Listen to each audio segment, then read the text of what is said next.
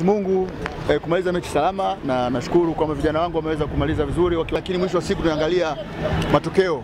Tumepata nafasi muhimu moja, tumeitumia, tumepata goli, lakini seme pia kwamba timu ya JKT Tanzania ni timu nzuri.